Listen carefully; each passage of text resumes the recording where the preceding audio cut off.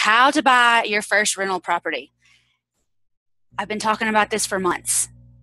And y'all know that I absolutely love real estate. And so, yes, I am completely excited that you're here with me tonight. And I hope you're excited too. This first page will tell you this is my name. I am the broker for Whitney Buys Houses. You want to know how to start your rental portfolio because it's completely overwhelming and you just don't know what to do. You don't know how to get started. And that's what I'm here for. I want you to be a success. I want you to be a freaking rock star. I want you to retire early. I want you to make the residual income that you deserve. I want you to live your life on your own terms and not have to answer to anybody else. We are talking about seven ways to buy your first rental property. Y'all, I'm about to overload you, like completely overload you on actual skills and strategies that I use, that I have used, and that I teach my students. Okay? So sharpen your pencils. All right, this is my first deal. Let's get into the real estate now. It's nothing special. It's on Prosser Road here in Knoxville. It is nothing special. And if you drove by that, you wouldn't even turn your head to notice it, would you? Of course not. There's nothing there, there's nothing to look at.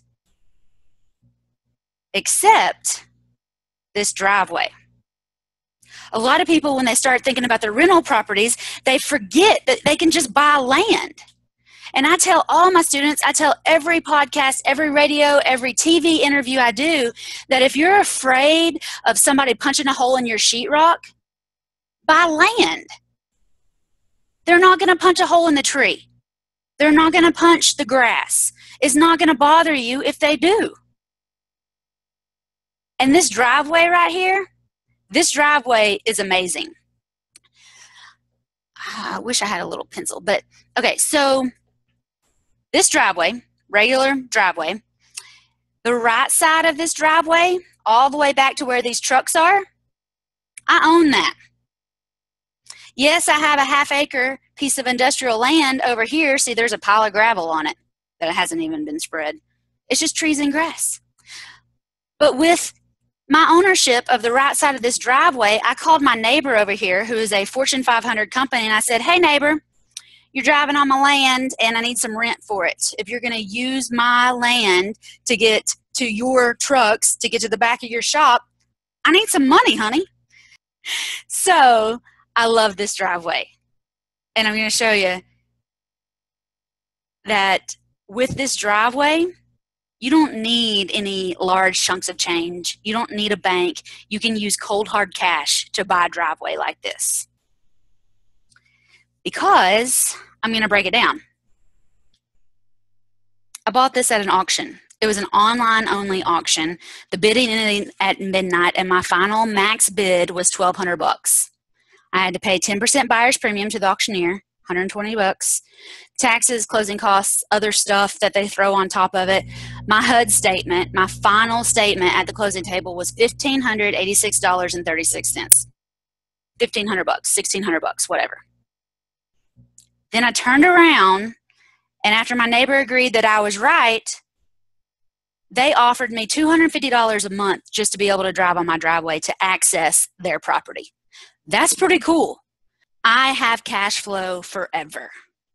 Okay? Forever.